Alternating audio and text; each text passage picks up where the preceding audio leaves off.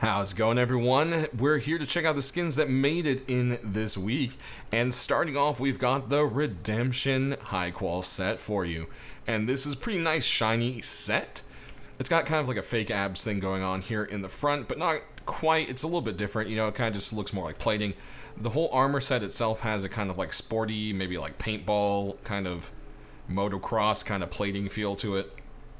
You know, that kind of armor that you would wear the way the plates are kind of set up lot less kind of military and more kind of civilian kind of thing.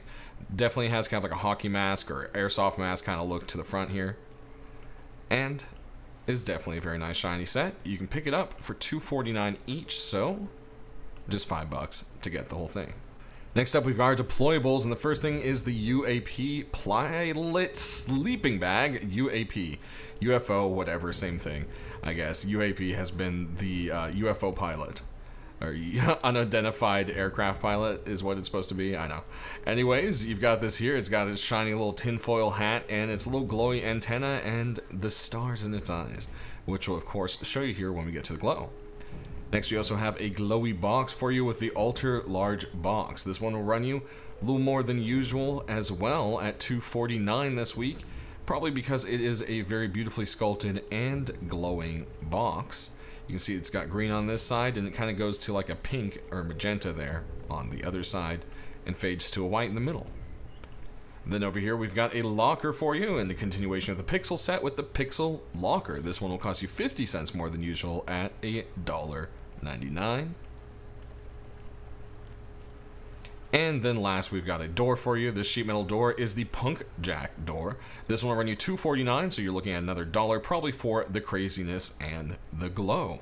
So let's go ahead and just kill the lights and take a look at that. All right, and there is the glow for that Punk Jack door.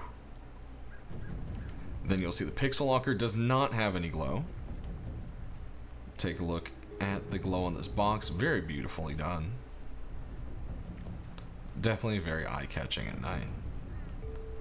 And then, of course, we've got the sleeping bag.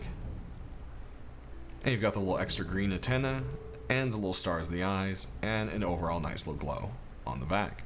Last but not least, we have our weapons, and we've got the Pirate Thompson for you this week right here. You can pick it up for the usual weapon price of $1.99, and it's kind of a cloth-covered old map kind of on the gun. It's got that little skeleton painted along the side. A little X marks the spot here when you aim down the sights. A nice little red tip to help guide you on in to your shots there.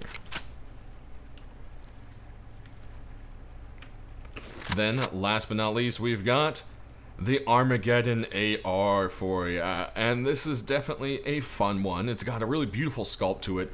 Got this crazy dragon, some scratches and marks, big old glowy eye. Then it's got some more of those dragon spikes back here with a nice silver and dark gray versus the red for our sight right there. And next question might be, does the red eye and nostril glow? And they do not, so they will not give away your position at night. Just kind of has a nice little effect of a look like it glows without the disadvantage of being seen at night.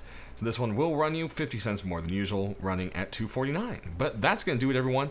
So sound off down in the comment section below which ones you're thinking of picking up and why. And uh, if what you wanted didn't pop in the shop, go ahead and let me know what it is so I can send that off to Helk. Any other feedback you have, I'll always try to get to whoever it belongs to. And, well, thanks for watching, stay rusty, and we'll see you soon.